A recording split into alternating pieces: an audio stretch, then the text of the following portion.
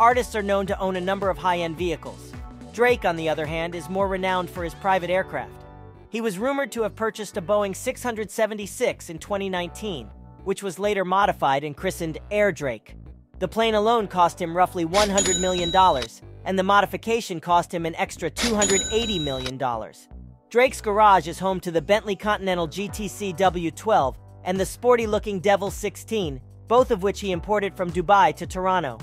He also has a Bugatti Veyron, which he purchased for more than $1.7 million.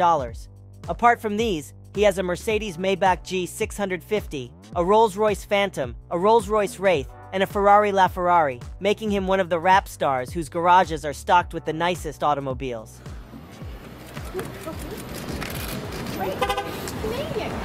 Hello. you have our ticket? What up? What's up?